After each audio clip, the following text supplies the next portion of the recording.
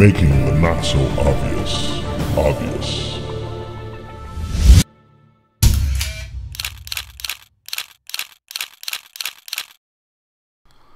This video is part of Shut Up and Shoot, that famous ebook, you know, the one you should be getting now. Hi, and welcome to part four of processing image sequences with Adobe After Effects. In this section, I'm just going to cover loading a RAW sequence as opposed to a JPEG sequence. So again, I needed to clear my throat there, excuse me. So again, we go into the project window, double click, and now instead of grabbing these JPEGs, which are smaller individual files, we are going to grab RAW. So the raw images coming from your cameras are full of a lot of data. It's raw data. It's not actually a photograph. It's actually pure data. So you need to understand there's going to be a lot more you can do with this. There's far more, uh, let's call it variants or variations of capabilities in regards to hue, saturation, luminance, all that stuff, because you have a lot more data if you'll notice, because it's a RAW file, Adobe was smart enough to figure out that it's a camera RAW sequence.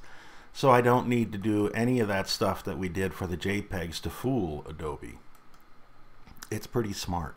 Make sure that your camera RAW sequence box is checked. If it's not checked, you're only going to get one image, and that really isn't footage. That's an image. So check that make sure you have a good numerical sequence and that none of the files are missing. And I could sit here and count the files or check the directory and see how many files but I really don't care. And you'll notice it created a, a XMP file. And this is for image number 2683 which happens to be the first image. That's because I've already played with this sequence this file holds the information that I'm going to show you that we're going to create right now. So in any case, without further ado, let's click open this puppy up. Let it load. Lots of data. Very cool. And we have beautiful imagery here. You can zoom in and you can see there's unbelievable crispiness here. This was shot with a 50 millimeter prime lens with a Canon T2i. Amazing. It has a lot of colors, so that would justify the size of the file. And the file size is directly related to how much or how many colors there are in the image. So if you're shooting a night sky, for example, with uh, just stars and a lot of black, your image sizes are going to be a lot smaller. So keep that in mind. But in any case here, I can change all kinds of things. So if I underexpose something, for example, which this is not, that's actually early morning shadows. So it's not underexposed. And it's the way I set up the camera. But if I wanted to bring up the exposure, I can do that. And I can do it very nicely because this is a RAW file and there's a lot of data to work with. Again, learn about the RAW processor from Adobe. There are many books uh, from various photographers. There are very, uh, very many tutorials from a variety of people. Okay, uh, international. There are video tutorials at Adobe itself about how to use this tool. There are a lot of functions in this tool. You can sharpen, you can do noise reduction, you can do all kinds of things. And I just want to show you, this is one of the most common things that people will use, and that's sharpening and noise reduction. I'm just going to zoom into 100% and show you what that does. This is actually a very crisp and clear set. But if I go and start changing and doing noise reduction, you will start seeing little subtle things happening Here's some color noise reduction. It's very subtle. You really need to look like in these areas here on the edges. I can sharpen. You see that? Look at these edges right here. Of course, you don't want to overdo it. But in any case, we can just reset that. And now it looks really horrible. Look at that. So the sharpening is way too high. I'm going to take that down, soften it up a little bit. Actually, we don't need any because it was sharp. Well, maybe just a tad right there. See that? Nice little sharp edges. And then we can mask it. And now it's even a little more detailed. But this is stuff you really need to play with a lot. Okay? You need to familiarize yourself and get yourself going on how to process photos in RAW. There's so many features and functions. Uh, you can even add effects. If I wanted to add grain, don't want to do that.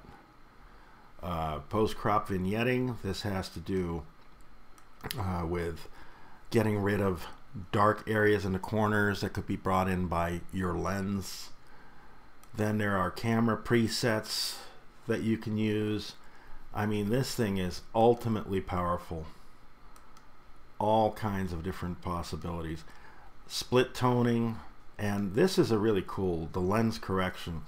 Some of the lenses actually have pre-configured uh, correction settings so that you can load a profile and you'll see that for example this was an EF 50 millimeter 1.4 Adobe automatically saw from the information that was embedded or the metadata in in the file that this was shot with a 50 millimeter 1.4 and so it can do a correction and it actually did which is kind of cool now this is not available for all camera lenses okay so it's got quite a few, but if your lens is not in there, there's an actual toolkit so that you can create it.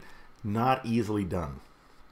But I just wanted to point that out, that there are quite some powerful tools available in the RAW processor. But let's assume this is all honky-dory. I am happy with this. And just click OK. And now we're right back to where we were with the JPEGs, except now we have a RAW file. So instead, I'm going to rename this and I'm going to call it Hedgehog. It's actually Hedgehog Cactus. Okay, for those of you, it's not a hedgehog because I know some of you thought, wow, what's with that? That's not a hedgehog. No, it's a hedgehog cactus. That's what we call a hedgehog cactus. And they happen to bloom at this time of the year, which is April, which is shortly before the release of that big ebook. But in any case, hedgehog cactus raw. And 29.97. And why do I call it 29.97? Because it says it's 30 frames. But again, I'm going to go into interpret footage, select the main, and I'm going to change that to 29.97. And off we go. And now I just take and drop that right down into my little composition icon so that it creates a composition and you'll notice it takes a little bit longer for it to process because we have so much more data, but it's still decent.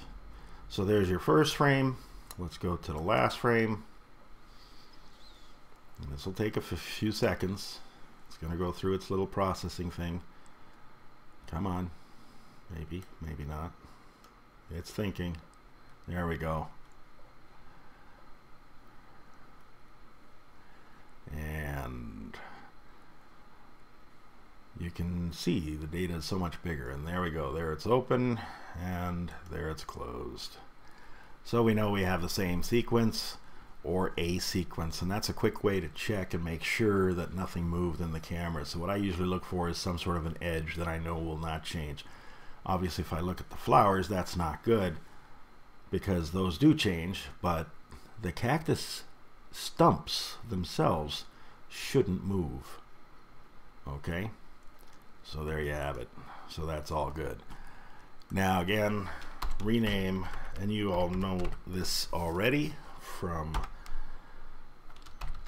the prior videos. And we're just going to go through the same exercises again. Go to composition settings, set your setting to whatever format, resolution, 1920 by 1080, whatever have you. Click OK. Now we're zoomed in. And of course now we can start moving this image and it's thinking, it's processing, it's doing a lot of processing. I'm using the arrow keys right now because they seem to go a little faster than waiting for trying to move the arrow. You see that? It's it's just it's thinking so much because these are very large files. In any case, so I can duplicate this